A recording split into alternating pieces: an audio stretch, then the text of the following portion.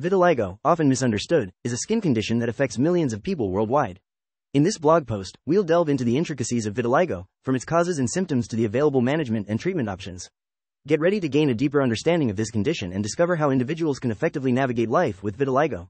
Understanding vitiligo Vitiligo is a skin condition that causes loss of pigmentation, resulting in white patches on the skin. It occurs when the melanocytes, the cells responsible for producing skin pigment, are destroyed. The exact cause of vitiligo is not fully understood, but it is believed to involve a combination of genetic, autoimmune, and environmental factors. What happens in vitiligo? Melanocytes are attacked and destroyed, leading to depigmentation. White patches or spots appear on the skin, particularly in areas exposed to the sun. Different types of vitiligo. There are several types of vitiligo, including generalized vitiligo, segmental vitiligo, focal vitiligo. The patterns of depigmentation can vary, and it can affect any part of the body. Understanding the different types is important for diagnosis and treatment planning. In summary, vitiligo is a complex skin condition characterized by depigmentation, and understanding its different types is essential for accurate diagnosis and management. Remember, the exact cause of vitiligo is not fully understood.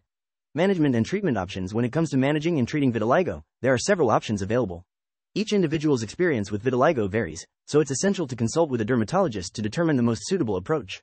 Here are some common management and treatment options. Topical treatments, corticosteroid creams, calcineurin inhibitors, and vitamin D analogs are often prescribed to help restore pigmentation. Phototherapy, this treatment involves exposing the skin to UV light, which can help even out skin tone. Surgical options. Procedures such as skin grafting, blister grafting, and tattooing can be considered for localized vitiligo. Depigmentation.